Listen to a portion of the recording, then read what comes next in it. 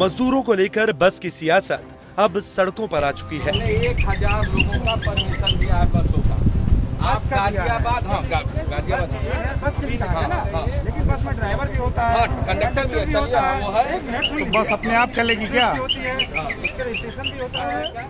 UP Rajasthan का border देखते ही देखते जंग का अखाड़ा बन गया। पुलिस और कांग्रेस कार्यकर्ताओं के बीच तीखी बहस हुई और मामला गिरफ्तारी तक पहुँच गया। पुलिस ने यूपी के कांग्रेस अध्यक्ष अजय कुमार लल्लू को गिरफ़्तार कर लिया है।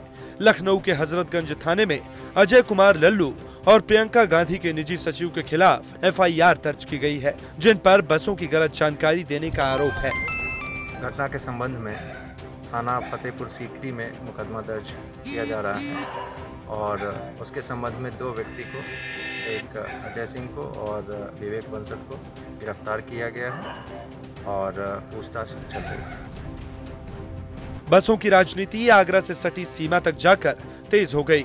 बॉर्डर पर कांग्रेस बस लेकर पहुँची तो पुलिस ने उन्हें उत्तर प्रदेश की सीमा पर घुसने से रोक दिया। फिर क्या था? हंगामा शुरू हुआ। कांग्रेस और पुलिस के बीच जमकर नोकझोंक हुई। गुस्साए कार्यकर्ता धरने पर बैठ गए। यहाँ पे पुलिस की जो है वो तैनाती है और पुलिस बिल्कुल भी इनको नहीं अंदर जाने देना चाहती जिसकी वजह से एक आक्रामक स्थिति यहाँ पर उत्पन्न हो गई है। अ, इनका कहना है कि अंदर जाएँगे और बिल्कुल सामने यहाँ पर उत्तर प्रदेश जो बॉर्डर है यहाँ पर पुलिस इनको नहीं जाने दे रही। बसों को रोके जाने से प्रियंका गांधी वाड्रा ने योगी सरकार पर हमला करते हुए तंज मारा। उत्तर प्रदेश सरकार ने हद कर दी। मुख्यमंत्री योगी आदित्यनाथ, इन बसों पर आप चाहे तो बीजेपी का बैनर लगा दीजिए, अपने पोस्टर बेशक लगा दीजिए, लेकिन हमारे सेवा भाव को मत ठुकराइए। दरअसल जिन एक हज़ार बसों की लिस्ट कांग्रेस ने यूपी सरकार को सौंपी थी, उनमें से कई के registration three wheeler two wheeler और यहाँ तक कि एंबुलेंस के नाम पर थे।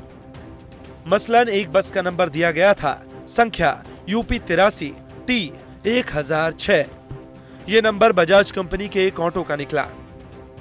वहीं प्रियंका गांधी ने बसों के रजिस्ट्रेशन को लेकर योगी सरकार के आरोपों पर पलटवार किया। प्रियंका ने ट्वीट किया। यूपी सरकार का खुद का बयान है कि हमारी एक हज़ार उनचास बसों में से आठ बसें जाँच में सही पाई गई ऊँचा नागला बॉर्डर पर आपके प्रशासन ने हमारी 500 बसों से ज़्यादा बसों को घंटों से रोक रखा है। इधर दिल्ली बॉर्डर पर भी 300 से ज़्यादा बसें पहुँच रही हैं।